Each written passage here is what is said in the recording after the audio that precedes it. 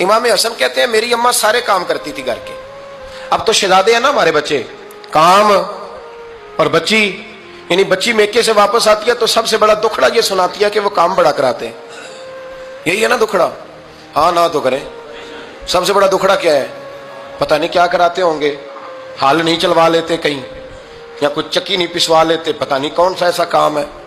और मैं, आप नाराज़ ना हो जाना, मैं भी बेटी का बाप हूँ। मैं भी बहनों का भाई हूँ, मैं भी इस बात को समझता हूँ, लेकिन एक बात जहन में रखना कि ये बात नहीं है कोई करने वाली, कि सारे बच्ची के माँ बाप जमा होकर पहुँच जाते हैं, हमारी बच्ची जी काम बड़े करती है। मसलन क्या करती है? क्या करती है वो? आओ मैं बताऊँ मेरे मुस्तफ़ा की बेटी क्या करती थी। मैंने सैकड़ों दफ़ा ये बात की है और मेरा दिल करता है, रोज़ाना करूँ, फिर करता हूँ।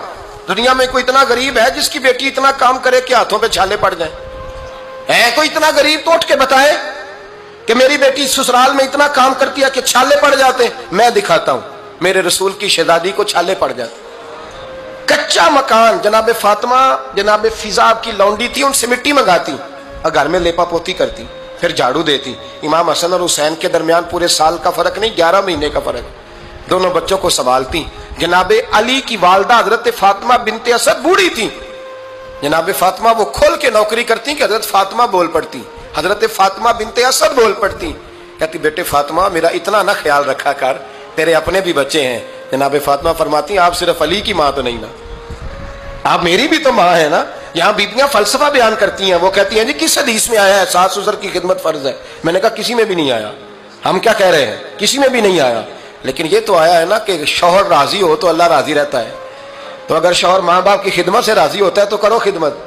इसको तो राज़ी करना है ना। इस पर तो तवज्जो दो। हज़रत फातिमा फिर चक्की पीसती।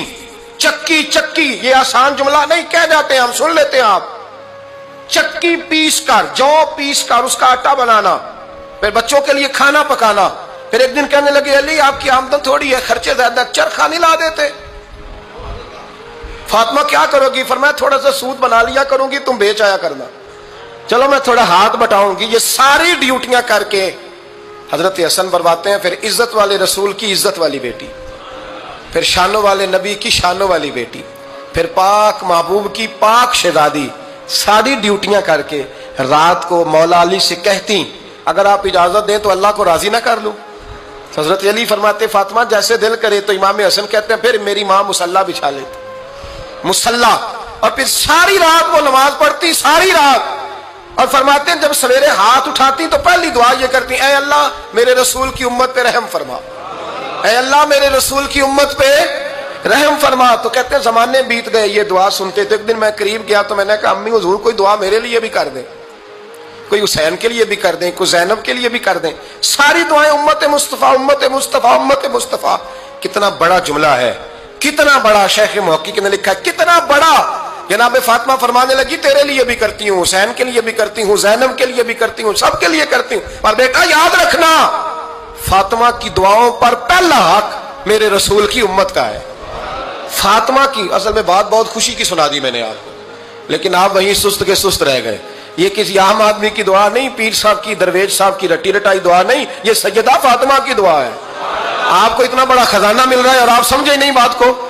हज़रत फातमा फरमाने लगी, मेरी दुआओं पर सबसे ज़्यादा हक मेरे रसूल की उम्मत का है।